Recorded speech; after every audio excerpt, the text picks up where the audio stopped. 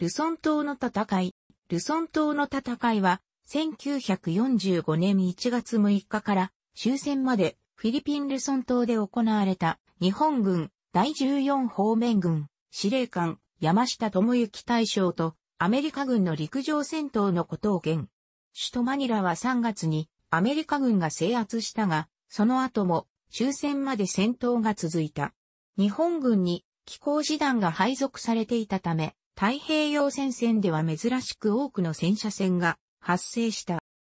フィリピン奪回を目指すアメリカ軍を中心とした連合軍は、レーテ機械戦、レーテ島の戦いに勝利して、フィリピン東部の制空権、制海権を握った。また、ミンドロ島の占領によりルソン島に対する航空作戦基地も確保することに成功した。そして、いよいよルソン島への上陸作戦を決行することとなった。その第一の作戦目標は、首都マニラの奪還に置かれた。ルソン島では多数のフィリピン人、ゲリラ部隊が協力体制を築いて上陸を待っていた。対する日本、側現地司令部である第14方面軍の作戦計画では、ルソン島に戦力を集中して平原部での決戦を行う予定であった。しかし、台湾沖航空戦の過大な戦果判定による大本営の方針転換から、レーテ戦のためルソン島から兵力を抽出したことにより、ルソン島の日本軍戦力は大きく低下してしまった。それに加え、当時第14方面軍の作戦参謀を務めていた堀江座中佐らの艦砲射撃を多用する米軍相手に水際での戦闘を挑むよりは艦砲の砲弾が届かない山岳に誘い出しての持久戦を行う砲釜シートの進言から、司令官の山下大将は、持久戦により敵をルソン島に可能な限り引きつける方針を決断した。日本軍は戦力を勝部、新部、県部の3集団に分けて防衛体制に入り、方面軍司令部も1945年1月3日に一歩から北部山地のバギオへと移動した。ホセラウレル大統領を主犯とし、日本の影響下にあったフィリピン共和国政府も同じく北部へと移動した。ルソン上陸に呼応して、アメリカ海軍の空母機動部隊が南シナ海においてグラティテュード作戦を行うことになった。この結果日本の非86戦団などに大きな被害が出た。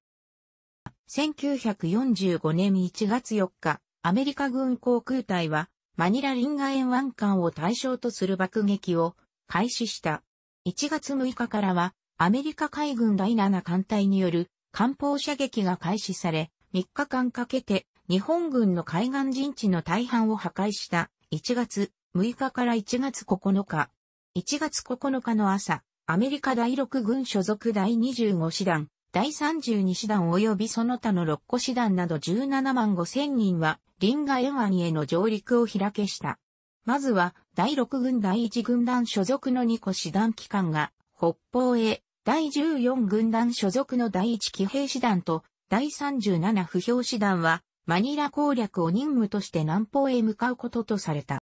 日本側は4式肉薄攻撃艇を装備した陸軍海上艇新戦隊が初の出撃を行い、不評揚陸艇1隻を撃沈、駆逐艦2隻、戦車揚陸艦3隻、輸送船1隻を損傷させる戦果を挙げたほか、第23師団と独立混成第58旅団、それに第23師団に配属された戦車、第2師団の重見死体、死体長、重見勲少将。戦車第3旅団機関の戦車約60両ほかが迎撃に当たった。1月16日夜には、第23師団及び、独根第58旅団のそれぞれ1個大隊が、茂見主体の支援を受けて、野襲をかけ、予想以上の戦果を出すなどの積極的な活動を見せていた。しかし下旬にもなると、沿岸の第23師団の第一戦陣地は分断、包囲され、北部担当の独根第58旅団や、東部内陸の第10師団も次第に消耗していた。27日には、サンマヌエルで、茂み主体が全滅し、茂み少将も戦死した。北上するアメリカ軍第一軍団は、ルパオやサンホセなどで、戦車、第2師団主力の迎撃を受け、激しい戦車戦が発生した。2月中旬までに日本軍戦車はほぼ全滅したが、この間に北部の日本軍は産地へと物資を輸送し、持久戦の体制を構築することに成功していた。アメリカ軍は1945年1月30日にカバナ山捕虜収容所を特殊部隊により解放した。他方、リンガ沿湾南方では連合軍の進撃は順調であった。日本側の兼務集団が防衛に当たっていたが、主に飛行場関係の防空部隊や整備要員を再編成したもので十分な戦力がなかった。兼務集団長に1945年1月8日に着任した塚田力里中将、第一挺身集団長兼任は、マニラ北西 100km のクラーク地区にある13の飛行場軍を防衛して、連合軍による飛行場利用をできる限り地帯させることを目標とした。そこで、飛行場西方の平地に第一線陣地、その西約 3km の山岳地帯に第二線陣地を敷いた。さらに、そこから西約3から 9km にわたって全州防御の区画陣地を多数設営した。兼務集団は総兵力3万人であったが、その実態は、クラーク地区の陸海軍航空部隊を修正した部隊で、第10航空地区司令部令下の9個、飛行場大隊をはじめとした60以上の陸軍部隊、約1万1000人と第26航空戦隊、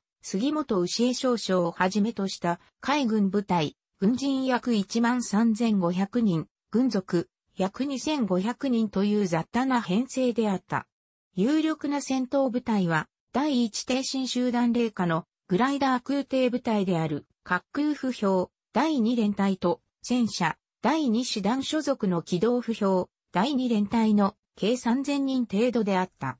このほか、バターン半島の長吉主体が指揮下にあったが、実際には独立部隊として機能していた。対する連合軍は1月20日頃からクラーク地区に侵入し、25日にアメリカ軍第14軍団、第37、第40師団機関により猛攻撃を開始した。圧迫された兼務集団は早くも29日に第2戦陣地まで後退した。30日にアメリカ軍はストッチェンバーグ飛行場に正常機を掲揚し、クラーク飛行場軍の制圧を宣言した。アメリカ軍主力部隊はそのままマニラを目指して南進を続けた。その後も一部の連合軍は、兼務集団の山岳陣地へと攻撃を続けた。激しい空襲により、兼務集団の陣地付近にある森林は焼け野原となった。日本軍が戦車の侵入は不可能と見ていた地域にも、アメリカ軍はブルドーザーを使って軍道を建設して戦車を進行させた。最終防衛戦の副核陣地にも2月9日から攻撃が及んだ。4月1日に沖縄戦が始まったことを知った塚田中将らは飛行場への総攻撃により玉砕するか、あるいは分散してのゲリラ戦に移るか検討した末、4月5日に集団を解散してのゲリラ戦を決断した。この時点で、兼務集団としての統制下に残っていた兵力は、陸軍1200人、海軍2400人にまで落ち込んでいた。4月17日頃から小部隊に分散して行動を開始し、組織的戦闘力はほぼ完全に失われた。海軍部隊指揮官の杉本少将は6月に戦死した。この間、連合軍側は新たにアメリカ軍第11軍団が到着し、第14軍団と交代していた。アメリカ軍はフィリピンの首都マニラの奪還を重視した。リンガ A1 から南下したニコ師団のほか、1月30日には第8軍所属の第11軍団がバターン半島の付け根付近スービック湾に位置するサントニオから上陸し、翌31日にはマニラ南西ナスグブにもアメリカ軍第24軍所属の第11空挺師団が上陸。さらに2月3日には第511空挺連隊がパラシュート降下していずれもマニラに向かって進撃を開始した。対する日本軍はマニラを含む南部一帯は新部集団の担当地区とし、マニラ市街地と周辺には、陸戦隊であるマニラ海軍防衛隊、魔界坊司令官、岩淵自海軍少将と指揮下の陸軍の口部隊などが布陣していた。また、バターン半島には、兼務集団の長吉死体が配置されていた。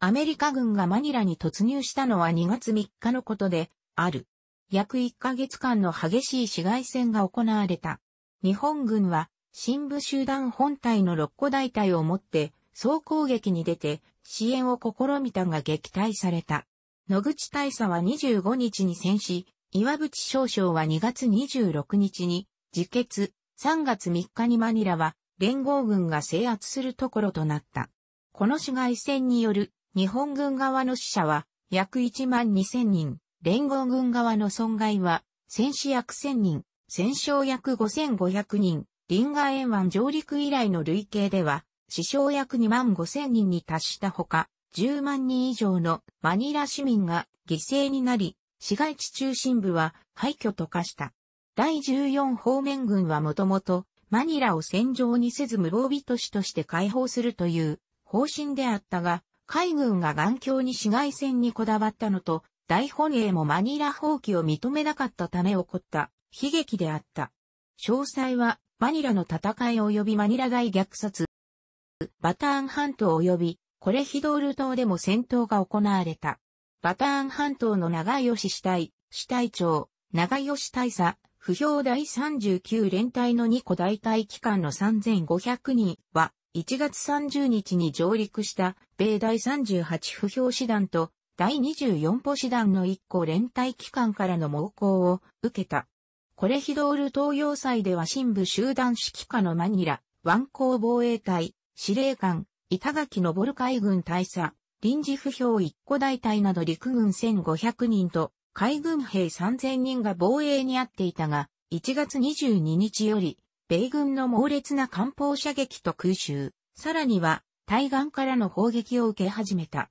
コレヒドール島守備隊は2月15日に特攻艇信用36隻を出撃させたが、戦火は上陸支援艇3隻にとどまった。2月16日に、米第24不評師団の一部により上陸が開始され、第503空挺連隊もパラシュート降下した。日本軍は、要塞のトンネルを駆使して、野襲による抵抗をしたが、17日に板垣大佐が戦死するなど、指揮系統が破壊され、20日以降は大規模な反撃はできなくなった。3月に入るとついに島を脱出せざるを得なくなり、残存兵力約300名のみが長吉死体へと合流した。マニラ湾内の他の島にも連合軍が上陸し、地下施設に石油を流して点火するなどの攻撃で日本軍を押した。3月頃の日本軍残存兵力は長吉死体とコレヒドール死体の合計で1500名であり、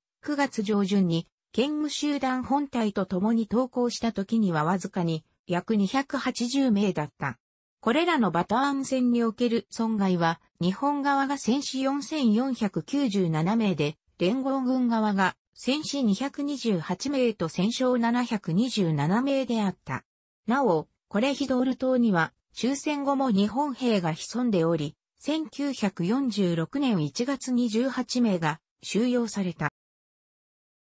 バターン地区の日本軍がおおむね制圧されたことにより、マニラ港は連合軍側の重要な兵站拠点として使用開始された。ルソン島南部の新部集団は、マニラ陥落後、東方の産地から南部沿岸に展開し、持久戦を行った。この時点での兵力は10万人を超えていたが、船舶部隊や海軍部隊を多数含む上、零下2個師団のうち、第105師団を北部に転進させたため、実力は第8師団を中核とした1個不評師団強の戦力であった。マニラ市街戦も終盤の2月23日、アメリカ軍第6師団、第43師団と1個連隊が、新部集団の第一線陣地に対する包囲攻撃を開始した。アメリカ軍は猛砲撃の後に戦車を中心にして包囲を強めていった。対する日本軍は3月中旬頃から第二重層攻撃を行って反撃し、これによりアメリカ軍第6師団長に重傷を負わせ、第1連隊長を戦死させるなどの戦果を挙げた。しかし、結局3月下旬頃になると、日本軍は第一戦陣地の放棄を余儀なくされ、第二戦陣地へと退却した。4月になると、アメリカ軍は3個師団を投入して、最終的な包囲攻撃に移った。日本側の新部集団は、北方の主力軍のほか、バタンガスの富士兵団、不評第17連隊機関、ビコール半島中流の後方部隊である、ビコール主体の3つに分断されてしまい、苦戦を強いられることとなった。うち、富士兵団は第105師団の北部移転を秘匿する目的の陽動部隊で、一個連隊機関の小部隊であるが、師団以上に見せかけるために、兵団と称していた。主力部隊と富士兵団は、それぞれの第二戦陣地にこもり、米軍と激しい攻防戦を行っていたが、そこからも撤退せざるを得なくなった。6月頃には、集団としての組織的戦闘が不可能な状態に陥り、小部隊に分散して、高山地帯での持久戦へと移行した。主力部隊を率いる横山中将は9月に入って終戦を知り、9月8日に降伏文書へ署名した。一方ビコール主体は4月1日より野戦を中心として戦ったが、4月末までには相当の被害を受けた。その後も通信機の不調から終戦を知らないまま戦闘を続け、11月に入って通信が回復するまでゲリラと交戦していた。11月20日に米軍の管理下へ入ったが、その時は兵力2400名が700名にまで減っていた。新部集団全体では、初期兵力約10万5千名のうち戦士6万名、マラリアや飢餓などによる戦病死1万5千名、行方不明1万3千名、捕虜1600名の損害を終戦までに受けた。終戦直後に米軍施設に収容された者は約1万3000名で、このほか終戦後も連合軍やゲリラと戦っていたとみられる者が、ビコールシュタインなどの2500名であった。日本軍主力の勝負集団は、方面軍司令部のあるバギオを中心に、北部山地で防衛戦を展開した。沿岸部での戦闘から交代した戦車第2師団、第23師団、独根第58旅団のほか、第10師団、第19師団、第103師団、第105師団、新部集団から抽出、独根第61旅団などを有し、総兵力は約15万人であった。このうち、第103師団は、北岸のアパリと北東部の告げ柄を、独根第61旅団は、台湾との間のバブヤン諸島に配置されたほか、第19師団は、北部山中でゲリラ総統戦を実施中、一個連隊が北西岸のビガンラオアグに展開し、残りの諸部隊が北上するアメリカ軍を迎撃することになった。勝負集団は国葬地帯であるカガヤン渓谷をバギオと並んで重視していたため、南部のサンホセからサンタフェ経由カガヤン渓谷へ、ク5号国道のバレテ峠が焦点となった。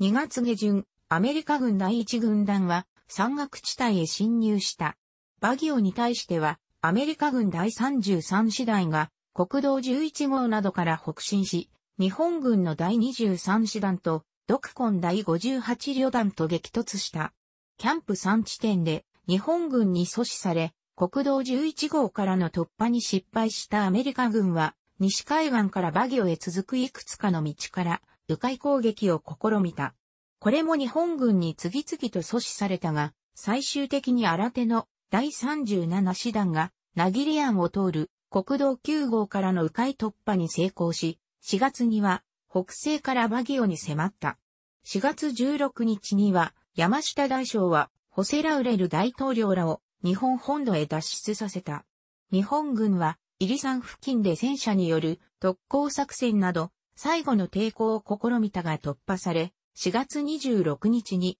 バギオは陥落した。第14方面軍司令部は、加賀谷渓谷へ転進した。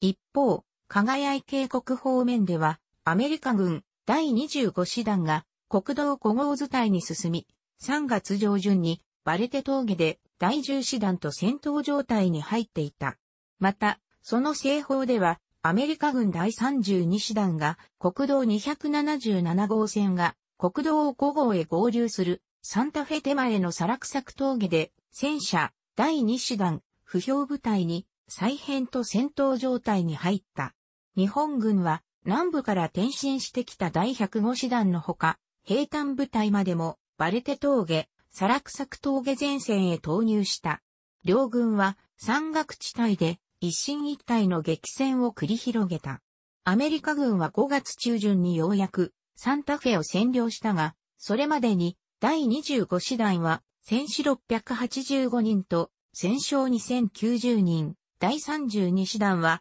戦死825人と戦勝2160人を受け、さらに第32師団だけで6000人の戦描写が生じる大損害を受けた。他方、日本軍も膨大な人的損害を受け、重火器や機関銃の大半を喪失した。5月下旬の戦車、第2師団の保有重火器は、戦車12両と火砲7門のみであった。6月1日に、日本軍残存部隊は、退却に移った。ルソン島北端のアパリにも6月23日に、連合軍が空挺降下し、加賀山渓谷防衛のため南進中の日本軍第103師団を撃破した。南北から攻撃を受けた勝負集団は山中へと追い詰められていった。バギオ方面から撤退した第23師団などと、バレテ方面から撤退した第10師団などは合流して深角陣地で最後の抵抗を試みていたが、すでに実動兵力は約20%に低下していた。大半がジャングルのルソン島の日本軍は、食料の補給は完全に途絶えてが死者が続出し、マラリアや赤痢にかかる者が続出した。部隊としての統制は乱れ、小部隊ごとに山中に参回して生活していた。幸福は固く禁じられていたため、伝染病にかかった者はそのまま死ぬか自決し、衰弱した日本兵は、抗日ゲリラや現地民族に襲撃され、消耗していった。飢えた兵士は食料を求めて、村や現地人を襲い、戦争どころではなくなった。兵士の間で台湾までたどり着けば助かると信じられていたために、イカダを作ったり泳いで台湾まで行こうとする者までた。終戦の4日後、8月19日に山下大将は停戦命令を受容した。しかし分散した各部隊への連絡は困難で、半年かけてようやく全軍が降伏した。降伏までに日本軍は20万人が戦死あるいは戦病死した。アメリカ軍に収容されたが、力尽きて輸送船の甲板へのはしごが登れず死ぬものまでいたという。楽しくご覧になりましたら、購読と良いです。クリックしてください。